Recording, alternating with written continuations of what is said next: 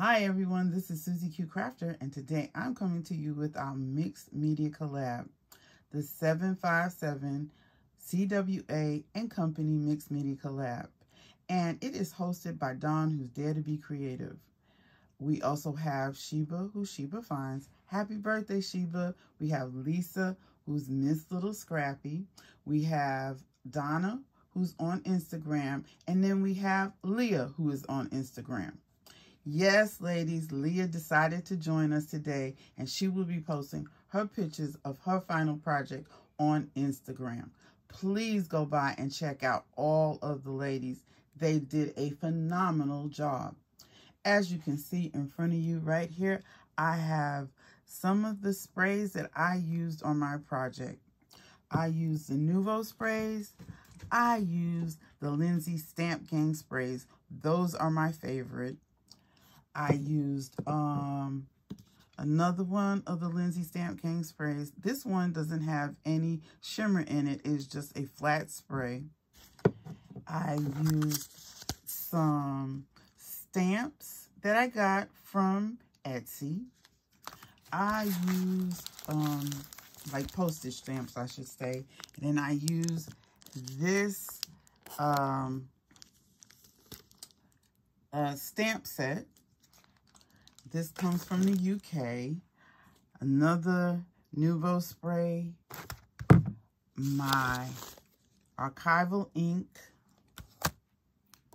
My crackle or chalk mousse, I should say. And I changed the color of that.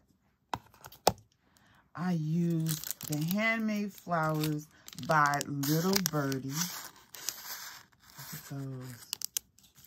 And of course, when you see my project, you'll see that I've changed the color of all my flowers. Some more of the flowers.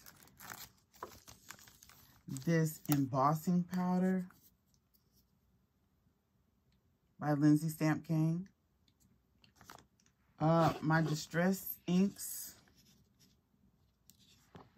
And I went ahead and used these stamps from the same company and then I used my Glowforge also to use to make a Eiffel Tower. I really love the way that turned out. Then I also used a Little Birdie stencil that I got. And Little Birdie is a company that Sheba told us about. I then went ahead and used Distress Paint. I've had that in my stash for over 10 years and it's still good.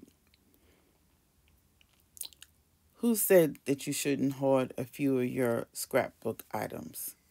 Here is my final project. I really like how it turned out.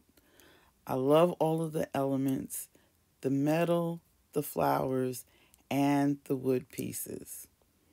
And I love the fact that I can take and make my own uh, chipboard pieces to go on my projects because my Glowforge did cut out that Eiffel Tower. Again, um, please go and check out some of the other ladies and their projects.